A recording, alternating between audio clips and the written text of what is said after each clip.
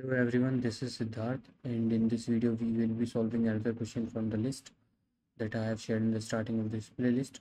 So if you don't know, uh, uh, I am making a playlist on my YouTube channel where I will be solving all those questions which are related to each other so that we can able to build pattern and not memorize those questions. So if you try to solve the previous question then you will be able to get intuition for the next problem as well. So that's why we are making this playlist. So and I will suggest that you can start solving the question from the hash one uh, question that I have shared. And I have made the full documentation of this playlist on my github account as well. You can check it out from there.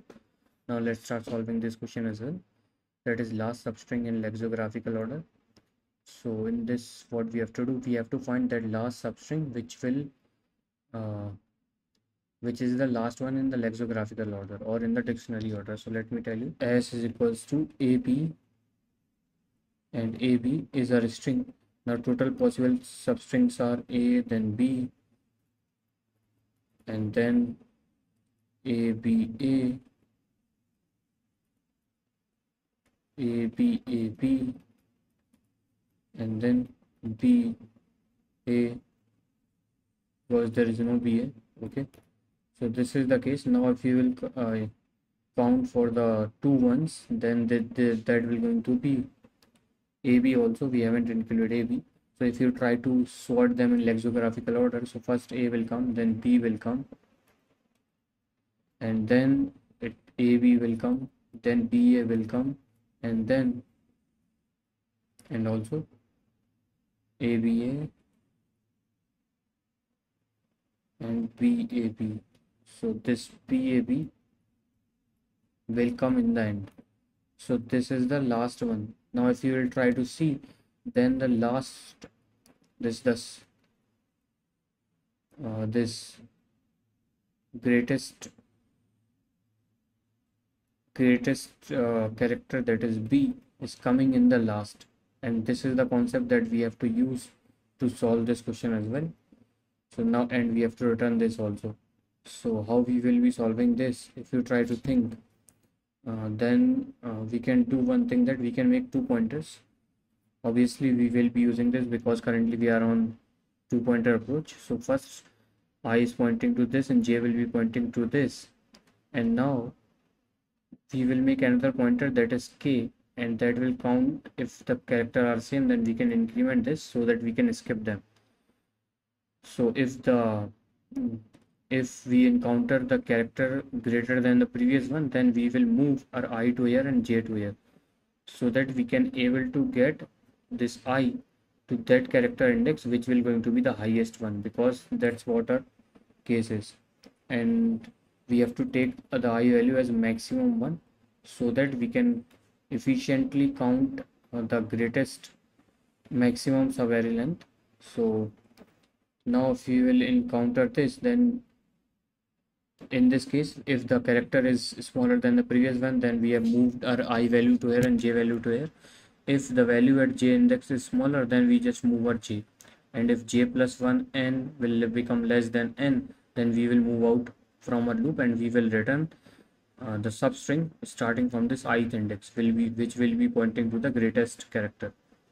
So this is the concept that we will be using. Now let's code it out as well so first what we have to do we have to make our pointer i is equal to 0 then j will be pointing to 1 and k will be the count of k will be 0 in the start. Now we just have to start in for loop while j plus n and is less than the value of sorry j plus k is less than the value of n. Then what we have to do? First we have to check if s dot char at index and let's define the length of the string as well. So in n is equals to s dot length. Okay so if the s dot char at index that is i plus k so we have to keep uh, track of k value because if we are encountering the similar element then we have to increment i value with it so that we can check for the new element. So if i plus k is equals to is equals to s dot char at index uh, j plus k. If this is the case then we have to increment the k value because we have encountered the same element.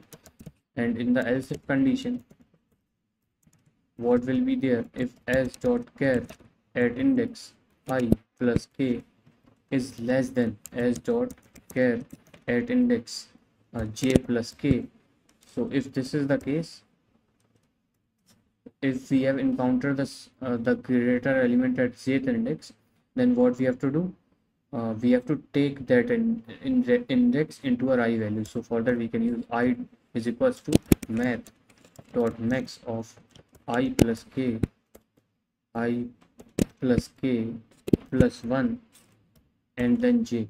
So that we can efficiently count the value of i and then we can move after moving our j pointer we can do j is equals to i plus 1 and we can set k is equals to 0 because we have as there is no as we have move our i value to the new a new group then we have to make the duplicate count to 0 and in the else condition what we have to do we have to move our j value. Because in this case the character that we encounter is smaller than then we have to increase the window length. So j will become uh, uh, what we have to do we have to increment this j value by 1 so this is going to be j plus plus and k we will set it to 0 and uh, and this j what we have to do we have to update it with the value uh, that will going to be j is equals to j plus plus this we can do.